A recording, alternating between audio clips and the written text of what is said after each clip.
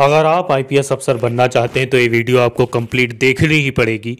क्योंकि इस वीडियो में हम आपको बताएँगे कि कहाँ कहाँ के लोग कौन कौन से देश के लोग कौन कौन से राज्य के लोग आईपीएस का एग्ज़ाम दे सकते हैं, कितनी हाइट की ज़रूरत होती है, कितनी उम्र चाहिए, और उम्र में कितनी छूट किसको मिलती है।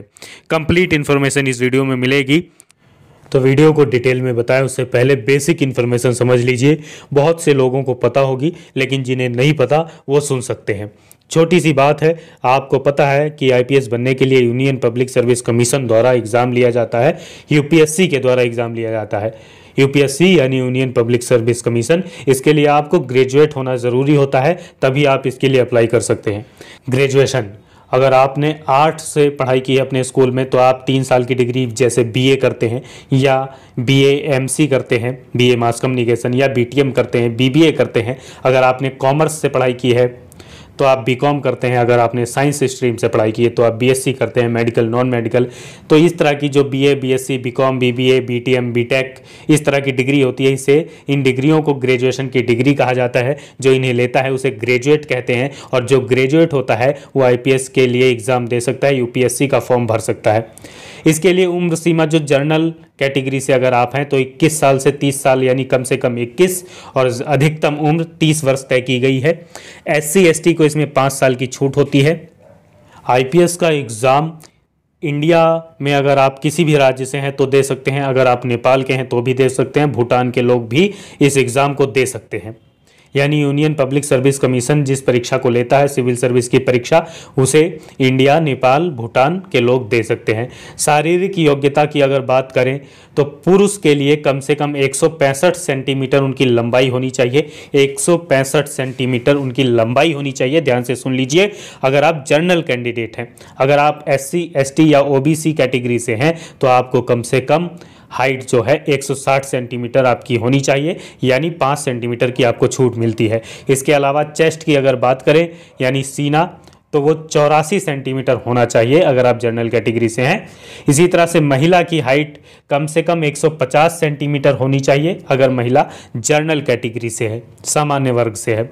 और अगर वो एस सी या ओबीसी से है तो पाँच सेंटीमीटर की छूट मिल जाएगी, यानी कम से कम हाइट 145 सेंटीमीटर होनी चाहिए। इसके साथ चेस्ट की बात करें तो 79 सेंटीमीटर होनी चाहिए। आई साइड भी आपकी टेस्ट की जाती है, आँखें कैसी होनी चाहिए?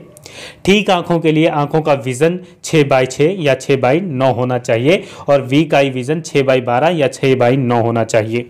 कौन सी किताबें पढ़नी होती हैं, इस पर ऑलरेडी हमने वीडियो बनाई हुई है, छठी से बारहवीं तक की एन अगर आपने स्कूल में अच्छे से पढ़ाई की है, आपका बेस मज़बूत है तो छठी से बारहवीं तक की ज़रूरत नहीं है। आप नाइन्थ से ट्वेल्थ तक की, नौवीं से बारहवीं तक की एन पढ़ लीजिए।